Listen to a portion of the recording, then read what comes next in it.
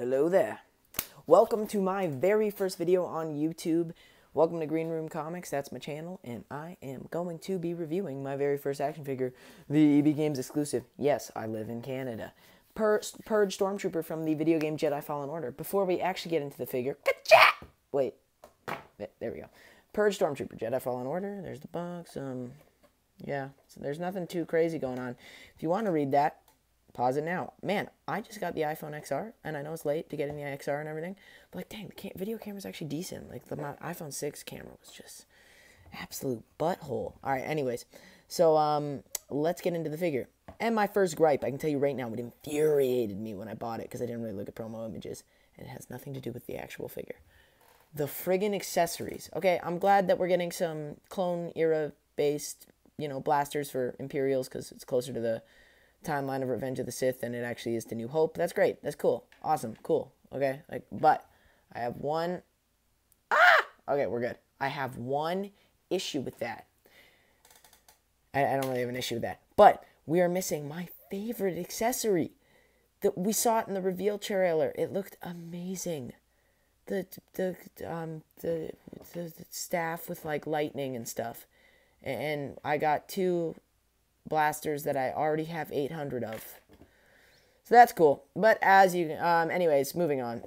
Uh, let's take a look at the blasters and the accessories. Um, it literally just looks like kind of like a darker paint, repaint of a, maybe like a little bit shiny of the uh, already, you know, existing blasters. But yeah, they're cool, I guess.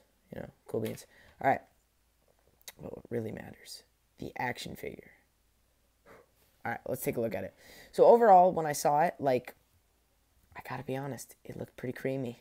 You know, if you know what I mean. Um, pretty weird way of putting it, but um, yeah, it looked really cool. I, I was really excited for it. I mean, look at that head sculpt. That's just, that's just beasting and feasting. But yeah, it looks really good. Um, really video game accurate. I do have some gripes. Like, okay, so it's pretty clean on the helmet, I'd say for the most part. No real complaints about it. But um, yeah, it looks nice it's pretty it's very like dark shiny black it, re- it, reminds me of the shadow trooper that i never got but i did see once but i was like younger and being stupid and was like Ew. so anyway anyways um yeah that looks good the uh everything looks good about this uh arm pad except one thing that little tiny ah! sorry uh that that little tiny dent it's kind of ticking me off to be honest but yeah it, it looks all right um let's see we got now from a distance, this looks, you know, really good. But as you get closer, you can start to notice that, here, let me focus on it, that it's really not clean at all. Like, it's just not. Um, the Imperial logo, it's kind of smudged out. It goes over the line a little bit. But I can't really, I don't really care that much. It still looks really sick overall that we got these on the arms. There is one on the other arm, but the pad's covering it, but you can see the bottom of it. Uh, you know, black paint on the arm, and then you get that little design right there. Not sure what that's about, but looks cool nonetheless. Um, let's just focus. Uh, or, you know, don't. That's cool too. All right, and then you get the little touchpad uh, and the that's keyboard thingy. It looks good. Um, overall, pretty clean. I don't see a lot of paint smudging uh, which is good because that really takes me off. And there, you know, on these designs, there are a few paint smudges, but the cleanest part of it is actually the back plate. Um, dang, I don't know. It just there's no red going on the black, and there's no black going on the red. Oh, there might be a tiny spot, but like it's really unnoticeable, and it just looks really good, especially if you're doing like a behind, you know, shot. But uh, yeah, it looks good. Um, you got the belt. It's kind of interesting because the belt and the skirt are actually one piece, which I did not see coming uh, are happening. And I feel like I don't know. Uh, I don't know if they've done this before. They probably have, but it looks really good. Um, if you do want to slide the skirt away, you can definitely get more articulation here. But we're not even doing articulation yet. Uh, again, kind of smudgy. There's black dots all up in there, but uh, looks good. Um, the black paint, you know, I, I'm a big Shadow Trooper fan, so I really do dig these Purge Stormtroopers. Um, I got them at EB Games for like 40 bucks. Yep, Canada is just breaking the bank. I, am assuming it's like 30 at uh, GameStop. But anyways, really cool action figure. Um, I do really like it. Let's get into the articulation. So uh, let's start with the head. Obviously, it's on a. I think it's on a ball joint. Yeah, I'm pretty sure it's on a ball joint. It does a full 360. Uh, it makes it a, a little bit of resistance because of this pad, but yeah, I like it. Uh, there's a good amount of head tilt.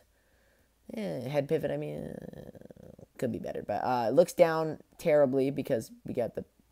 It doesn't even look down that much. we got that pad on. I'm sure it would look down a lot more though if you took it off, but I don't want to take it off. And it looks up pretty pathetically. But I mean, you do have this like, you know, chest piece, so you can like move it back a bit. Uh, chest bends forward that much, crunches forward that much, crunches back that much. Uh, you get full 360, double jointed elbows. Again, the 360 is basically all the articulation in this arm is a little fudged because of uh, that pad, but uh, not. I was really like I was looking forward to like the double jointed arms because I was pretty sure we were gonna get it because like come on, Captain Rex, one of my action absolute favorite action figures, had like the best double jointed arms, but nope, we got this traditional stormtrooper arms, which kind of sucks. Um, you got, you know, again, even not as much bend in the uh, this figure as Captain Rex. Captain Rex was just an articulation beast, but yeah, he, uh, the knee bends forward, uh, bends that much, moves forward that much. You can get it moving to the side about that much. Uh, goes back. Not, uh, I mean, yeah, if you move the skirt and adjust it, but don't leave it there too long because you are going to pinch the skirt and you're going to maybe make uh, do some damage to it. But yeah, that is what the action figure's articulations. Yeah, once again, overall, I really do like this action figure. I think it's a pretty good attempt. Uh, I think there could be some improvements, but this figure stands in just above six inches tall. I, eh, maybe almost exactly six on the dot. But yeah, um, yeah, it's pretty cool. Uh, now, this figure is a EA inspired action figure, as we know, for Jedi Fallen Order. I do have the original, yes, the original 2015 Shock Trooper, which they're re releasing now, uh, which I'm happy for all you new collectors, and now I don't feel special. So that's great. But uh, yeah, so this was the 2015 one. I never got the Iden Versio uh, for the ba- Battlefront 2 release. When did that come out? Like 2018, and then it flopped, and then it's good now. And I don't, I don't know how to keep up with it. But yeah, overall, I think this action figure could have been better with like that one accessory that I really wanted. Um, I mean, the closest that you can even get to it is a uh, the uh, Target exclusive uh, electrocutioner for first order electrocutioner or what or executioner. But I mean that uh, that really doesn't even look that good. It's super warped, and uh, yeah, but um, overall, I'm pretty happy with this action figure. Here we have Captain Rex and the Purge Stormtrooper standing side by side. We got Goat and Goat and Solid Attempt, uh, Darth Vader and the Purge Stormtrooper, which I'm assuming Darth Vader's going to come in at Jedi in Jedi Fallen Order at some point. I mean, it'd be kind of lame if he wasn't in it, you know, because it's Darth Vader. And there's the Purge Stormtrooper next to his Jedi Fallen Order co-stars. You have the Second Sister and Sith Inquisitor and uh, Cal Kestis, which other characters I don't really know anything about. Um, is that the only Jedi Fallen Order figures? No, there's apparently there's more coming out, but uh, I'm not gonna open those because they're white boxes, and I'm keeping them in box. So yeah, like I said, 82,000 times. I do really like this action figure. Um, I'm really excited to add it to my Imperial collection shelfie thing. Um, make sure that if you enjoyed the video, smash a like. That would mean so much to me. Um, you know, I just started my channel, so if you want to, uh, you know, um, subscribe and be my first subscriber, that'd be, uh, you'd have my undying fidelity. Undying.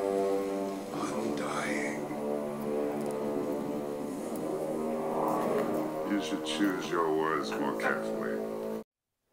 But in the end, who really cares what I have to say? Let's hear what Han Yolo has to say.